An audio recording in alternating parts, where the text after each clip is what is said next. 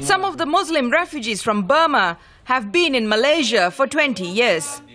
Community activists believe that several thousand more have arrived here in the past year and a half, fleeing anti-Muslim violence in the state of Rakhine. Most of them are from the Rohingya ethnic group. But other Burmese Muslims who are not Rohingya say they too had no choice but to make the perilous sea journey to Malaysia. Rahima Nobushaw says some of her relatives were killed when a mob burnt down her village. There was no way we could stay. The only way we could save our lives was to leave the country, to escape anywhere. We lost everything. The recent influx is straining the community's already limited resources. Muslim charities help out with food donations.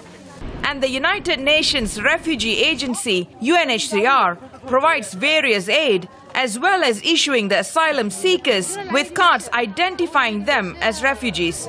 But Malaysia has not ratified the UN Convention on Refugees, leaving these people in a legal limbo. They are unable to send their children to state schools or work legally. Social activist Irene Fernandez says this makes them extremely vulnerable. They are deemed to be undocumented by all enforcement agencies. And even when they go and, and try and get a job, uh, they're going to be in a very exploitative situation because the employer knows that they cannot seek redress.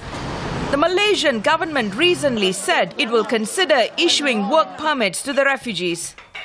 Muhammad Sadek, a Rohingya community leader, says the move would be very welcome, but that the refugees would still need significant help from the UN. The UN agency should not stop its obligations and the UN agency should continue its facilities to resettle them to other countries and to extend financial assistance, medical assistance and other necessary initiatives for the welfare of refugees.